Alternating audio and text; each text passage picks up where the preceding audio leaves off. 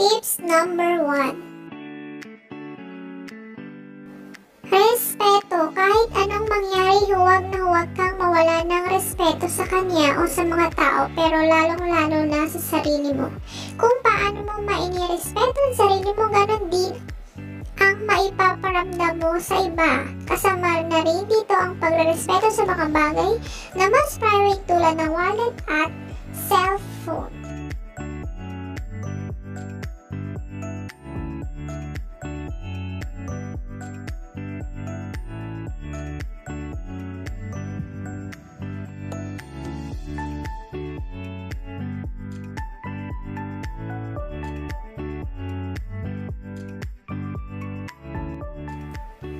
Tips number 2. Huwag kang masyadong clingy. Minsan ito ang nagiging dahilan kung bakit lumalayo sa atin ang mahal natin. Pag masyado tayong kulang sa pansin at nasasakal na sila, okay lang na magbatian sa umaga at sa gabi.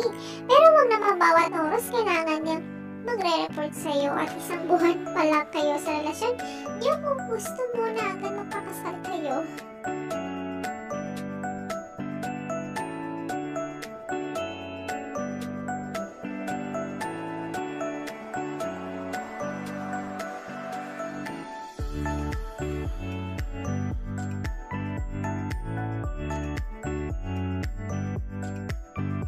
Tips number 3.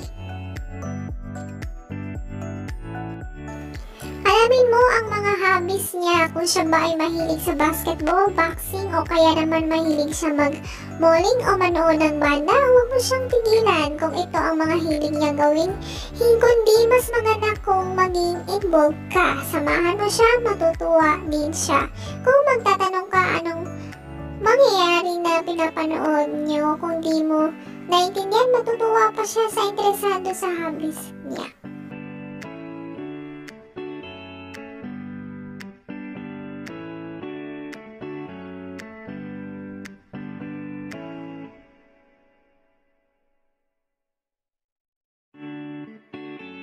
Tips number 4.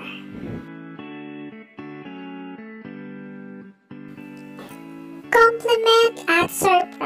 Matutuwa ang ating mahal kung kino-compliment natin sila sa ayos nila, damit nila o sa bagay na sa achieve nila. Kunwari, na-promote siya sa trabaho. Hindi hindi manlilimutan yon Ganon din kung bibigyan natin sila ng sorpresa. Kunwari, padalhan mo siya ng paborito niyang pagkain o kaya naman card kahit walang okasyon.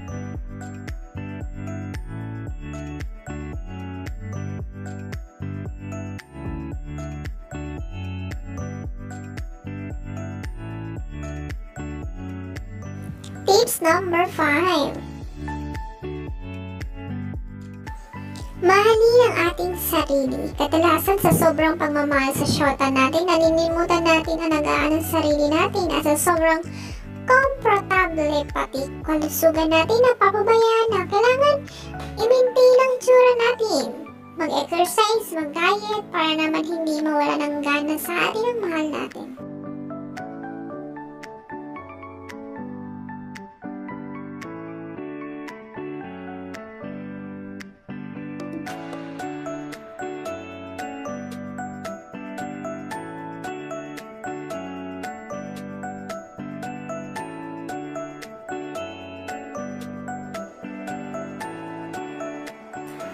Number 6. Maging mag-agaan at matutong makinig. Minsan kasi lahat ng problema natin, ibinubuhos natin sa mahal natin at in-expect natin na maintindihan nila at matutulungan tayo. Lahat naman tayo may mga problema sa buhay. Kaya sana bago mo ibuhos sa kanya ay unti-unti lang natin. Alagaan din natin ang mahal natin at importante na matuto tayong makinig sa mga sinasabi nila lalo na kung problema pa para makaisip tayong paraan para na mas solusyon yun.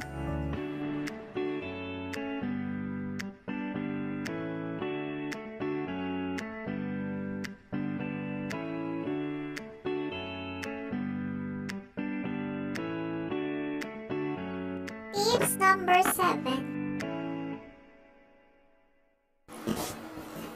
Session skills. Kung ikaw ay hindi marunong magluto, mag-massage o iba pang bagay, pwede mo itong matutunan at ibigay sa mahal mo. Kaya mabuti makilala natin na mabuti ang syota natin para minsan makaalis tayo sa mga comfort zone o nakasanayan na at panigurado hindi nila makakalimutan.